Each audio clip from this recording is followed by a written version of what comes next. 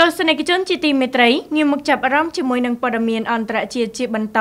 គឺតកតងទៅនឹងកូរ៉េខាងត្បូងបានអះអាងថាសហរដ្ឋអាមេរិកមិនបានដាក់សំណើណាមួយមកភាគីកូរ៉េខាងត្បូងនោះទេពាក់ព័ន្ធទៅនឹងការក្រុងធ្វើសម្ពយុទ្ធយោធាឡើងវិញ។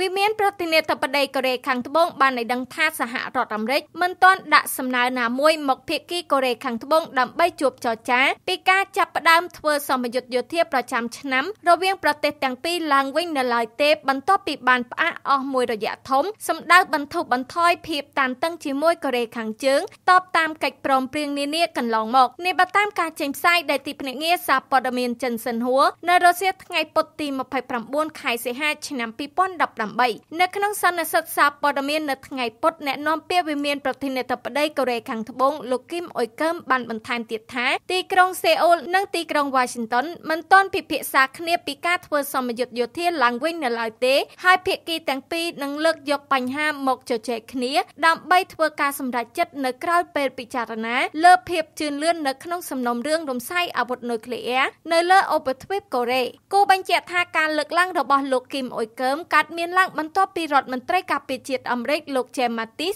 បានអះអាងកាលពីថ្ងៃអង្គារថាសហរដ្ឋអាមេរិកមិនមានគម្រោងផ្អាកការធ្វើសមយុទ្ធយោធាបន្ថែមទៀតជាមួយកូរ៉េខាងត្បូងនោះទេប៉ុន្តែបើសិនជាសមយុទ្ធយោធារវាងប្រទេសទាំងពីរត្រូវបានចាប់ផ្ដើមធ្វើឡើងវិញមែននោះភាពតានតឹងនៅលើឧបទ្វីបកូរ៉េអាចនឹងផ្ទុះឡើងជាថ្មីត្បិតទីក្រុងព្យុងយ៉ាង បានចាត់ទុកថាការធ្វើសមយុទ្ធយោធារវាងសហរដ្ឋអាមេរិកនិងកូរ៉េខាងត្បូងគឺជាសកម្មភាពត្រៀមឈ្លានពានកូរ៉េខាងជើង